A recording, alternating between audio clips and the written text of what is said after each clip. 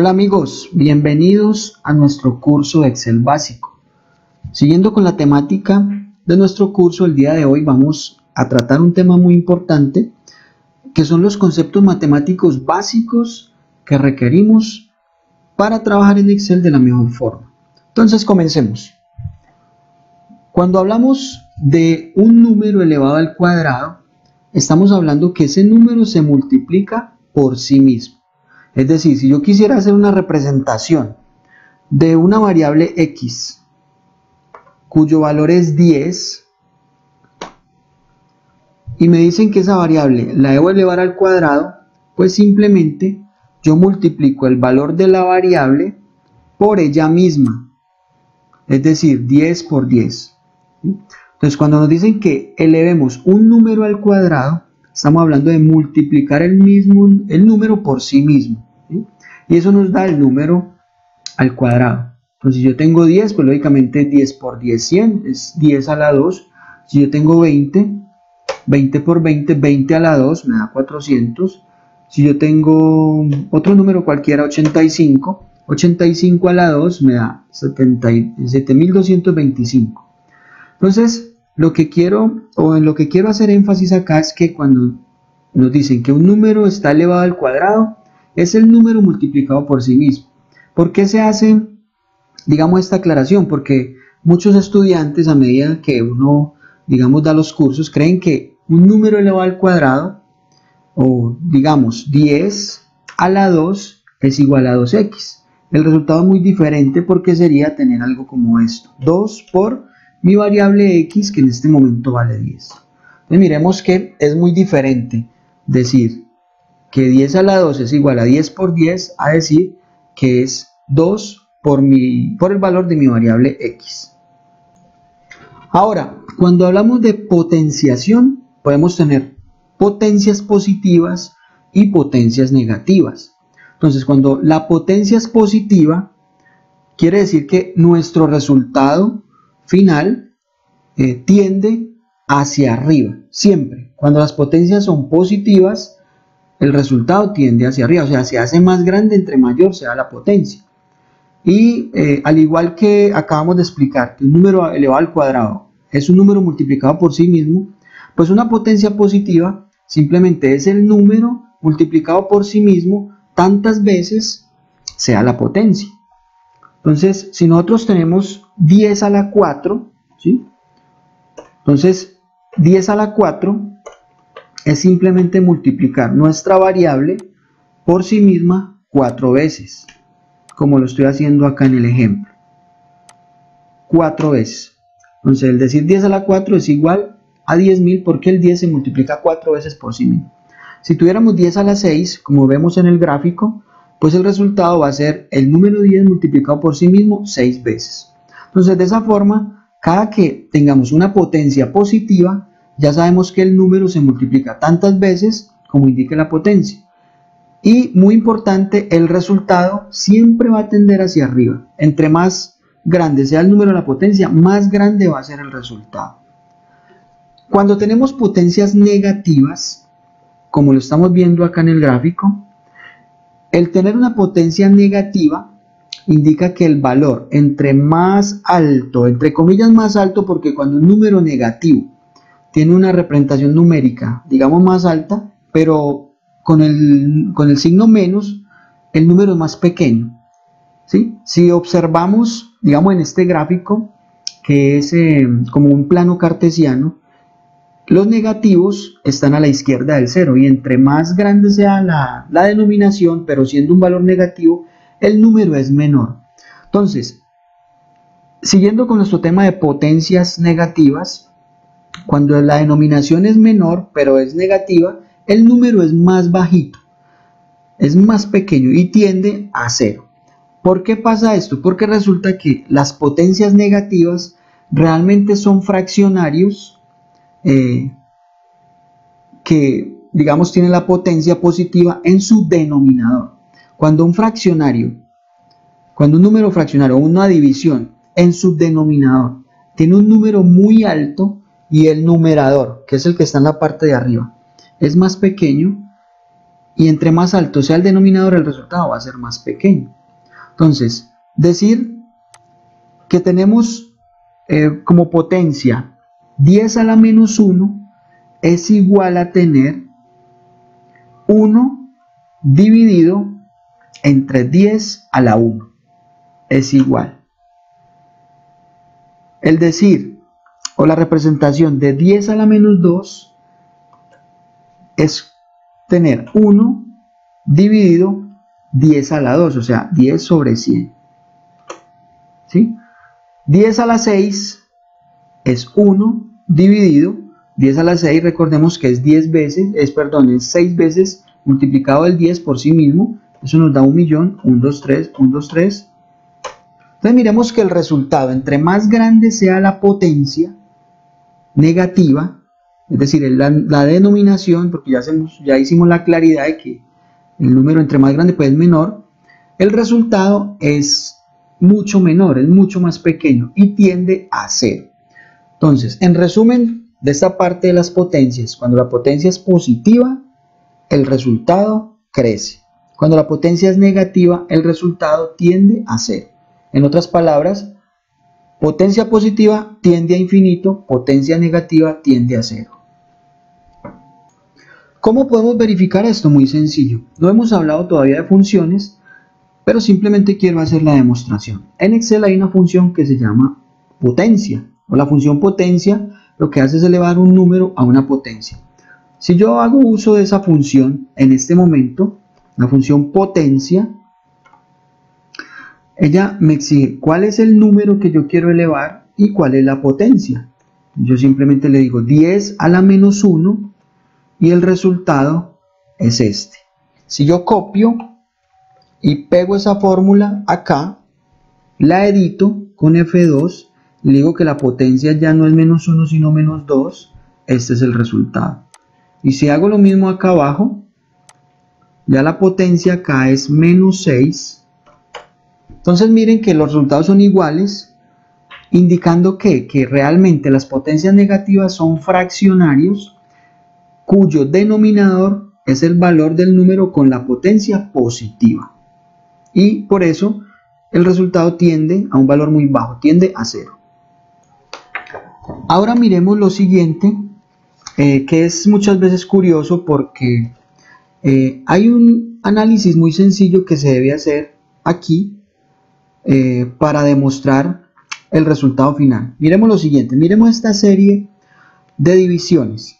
Entonces miremos, nuestra primera división, una división sencilla, 100 sobre 100, el resultado es 1, lógicamente. Luego 100 sobre 50, el resultado es 2, 100 sobre 20, 5, 100 sobre 10, 10, 100 sobre 5, 20, 100 sobre 2, 50, 100 sobre 1, 100, y nuestra incógnita es ¿cuánto da? 100 sobre 0. Muchas veces eh, algunas personas muy a la ligera dicen 0. Y entonces eh, yo les digo, bueno, pero analicemos lo siguiente. ¿Qué pasa cuando el denominador decrece? Miren que el denominador pasa de 100, 50, 20, 10 hasta llegar a 0. ¿Qué pasa con el resultado cuando el denominador disminuye? Pues miremos que el resultado final aumenta. 1, 2, 5, 10, 20, 50 y 100. Entonces, si analizamos esto, ¿por qué creeríamos que 100 dividido 0 es igual a 0? Si el resultado entre más pequeño sea el denominador, más grande está siendo el resultado. Entonces allí tenemos para analizar lo siguiente. Resulta que la división por cero no existe, es algo indeterminado. Si ustedes cogen la calculadora y dividen 100 sobre 0, pues va a salir un error.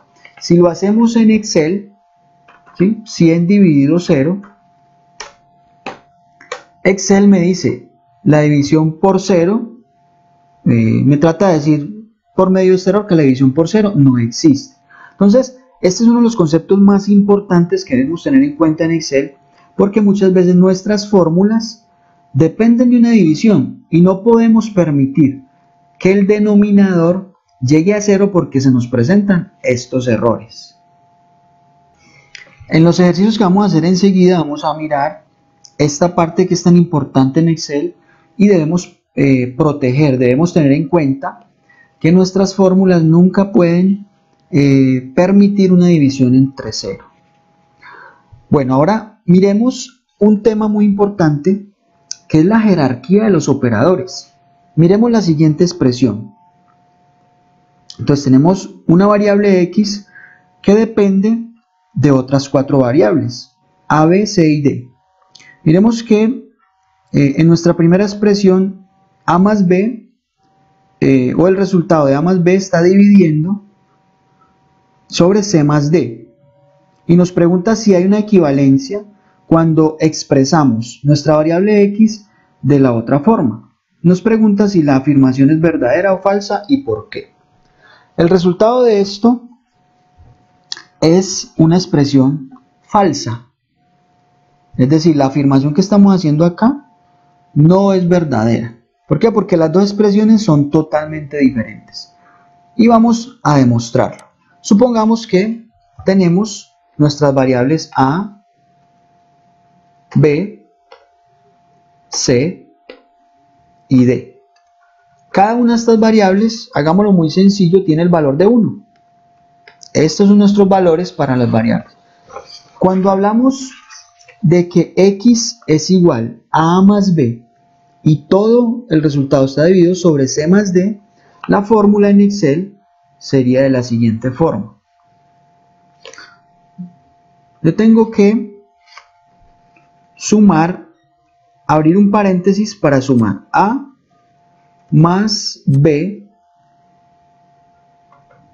y todo esto dividirlo entre C más D. Miremos el resultado. Nos da 1. Es decir, nuestra primera expresión nos da 1. Si hacemos la segunda expresión, estamos diciendo que A, que es nuestro valor 1, va a sumar una división, que es la división de B sobre C, y vamos a sumarle nuestra variable D. Miremos el resultado tan diferente. ¿Esto se debe a qué? A que la jerarquía de los operadores es muy diferente en ambas, en ambas expresiones. En la primera expresión, todo mi resultado del numerador lo divido entre todos los resultados del denominador.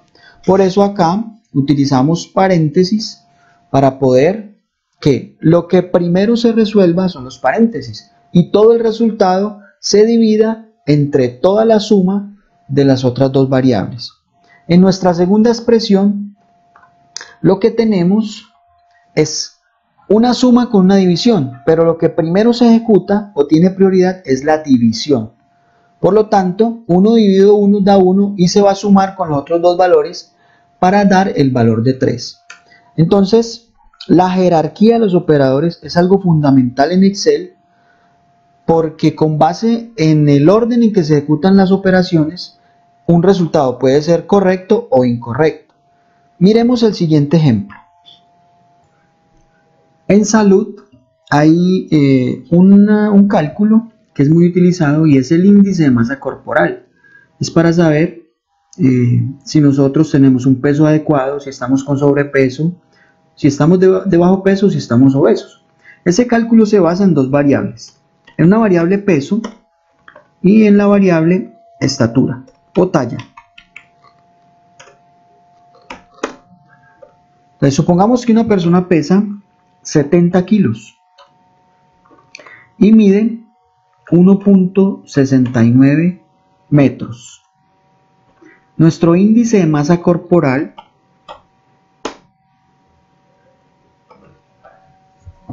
es el resultado de lo siguiente, de calcular el peso dividido la talla al cuadrado, es decir, nuestra variable talla por talla. Ahí es donde estamos aplicando un número al cuadrado. El resultado correcto es 24.50.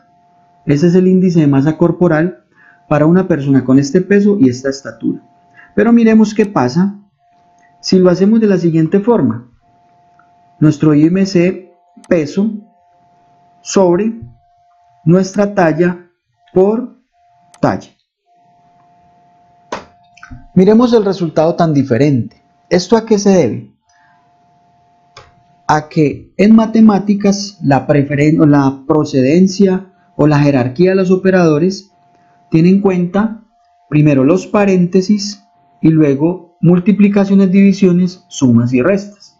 En este caso, nosotros estamos eh, eh, haciendo un número al cuadrado, pero sin especificarle que sea tenido en cuenta todo el resultado para la división. Lo que primero se ejecuta acá es la división del peso sobre la talla y el resultado de esa división se multiplica nuevamente por la talla. ¿sí? Es diferente a, ahí en ese caso no estaría haciendo el denominador la talla al cuadrado, sino que se hace una operación muy diferente. Entonces miremos cómo la jerarquía de los operadores hay que utilizarla correctamente para que los cálculos sean correctos. Si nosotros colocamos esta fórmula estamos viendo en pantalla eh, en una fórmula del índice de masa corporal, todos mis cálculos me van a quedar equivocados porque la forma correcta es esta. Debemos asegurarnos de que el denominador efectivamente sea la talla al cuadrado para que sea eh, el denominador que se va a tener en cuenta eh, en el peso o con respecto al peso para hacer un cálculo correcto.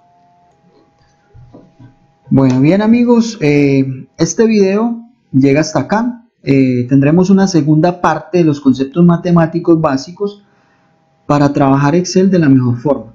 Entonces, eh, muchas gracias por la atención y nos vemos en el próximo video.